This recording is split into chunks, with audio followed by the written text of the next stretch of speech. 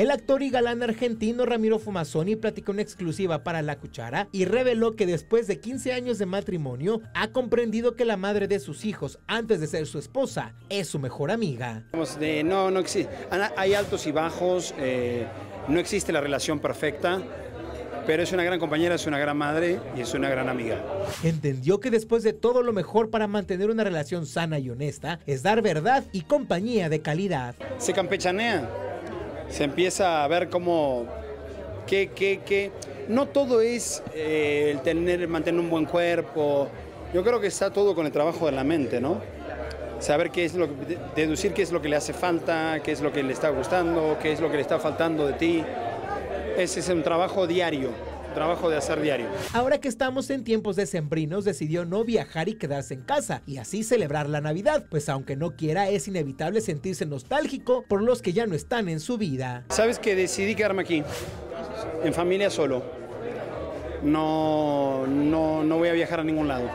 Este año no viajo. ¿Qué recuerdos se trae a ti la Navidad?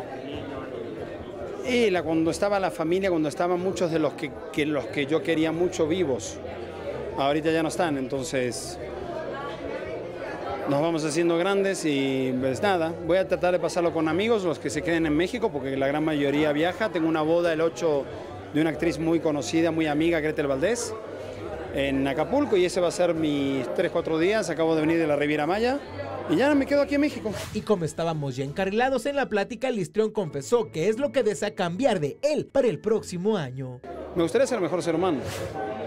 Todos tenemos errores, todos tenemos defectos y mejorar, mejorar eh, esas, esas cosas que te entristecen, que de golpe no, no, no deberías, porque cuando Dios te bendice con dos hijos como los que tengo, que tienen salud, y yo tengo salud, gracias a Dios, pues ¿qué, ¿qué, más le puedo pedir a la vida? ¿no? Y a veces uno quiere exigir más y más y más y eso es lo que quiero mejorar.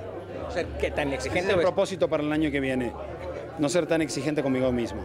Sí, porque luego nos disfrutamos, Carlos. Sí, somos a veces. Con imágenes de Jorge Alonso informó para La Cuchara Rodrigo Montiel.